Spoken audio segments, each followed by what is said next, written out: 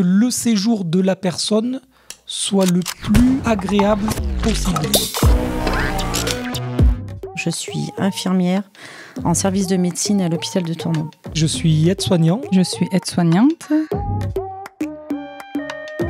Mon travail consiste à accompagner les gens dans les gestes de la vie quotidienne, c'est-à-dire pour l'alimentation, la toilette, et puis aussi être à l'écoute de la personne. On transfuse beaucoup, donc on peut être amené à poser des transfusions. On va faire le tour de leurs constantes, leur distribuer leurs médicaments. Puis l'après-midi, on va attaquer toutes les admissions des patients qui arrivent, euh, souvent à partir de 14 heures. Donc là, ça va être l'installation des patients, faire leur entrée informatique, euh, ça va être leur expliquer le fonctionnement du service, euh, ça va être prélever éventuellement un bilan sanguin si le médecin le demande, ça va être leur faire un électrocardiogramme, etc.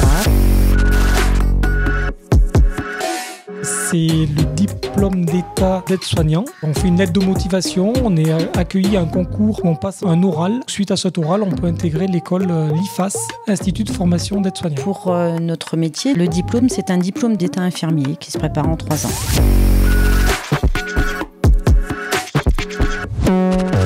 Alors les avantages du métier, c'est qu'on a un diplôme qui s'obtient assez vite parce qu'en fait une formation de 12 mois pour un diplôme d'État, c'est relativement court. Ce diplôme, il est valable au niveau national. On peut exercer sur tout le territoire français et aussi dans les, dans les Outre-mer. On peut exercer donc ce métier autant en ville qu'à la campagne indéniablement, c'est des métiers qui sont physiquement difficiles parce que déjà on est debout toute la journée, on fait beaucoup de pas, c'est fatigant, mais j'ai envie de dire qu'avec les années, avec l'habitude, euh, on s'en rend pas compte qu'on reste 12 heures par jour debout. Hein, euh, donc ça, on s'y fait bien. Et surtout, euh, on est des humains, donc c'est difficile d'être insensible face à la mort des gens, même si on, on sait mieux faire avec le temps, avec l'expérience. Mais ça, oui, ça fait partie des choses difficiles dans notre métier faut être prêt à ça. Il faut être prêt, faut être prêt à côtoyer la mort, ça c'est sûr.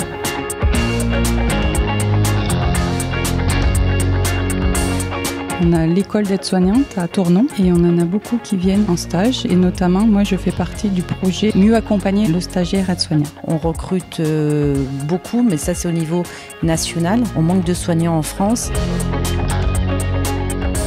Alors déjà, je pense qu'il faut aimer l'humain. Il faut être disponible. Je crois qu'il faut beaucoup d'empathie. Il faut être patient. Être à l'écoute. Multitâche. Aimer travailler en équipe. Parce qu'on travaille beaucoup avant en équipe pluridisciplinaire. Il faut pouvoir s'adapter facilement aux situations, se remettre en question en permanence.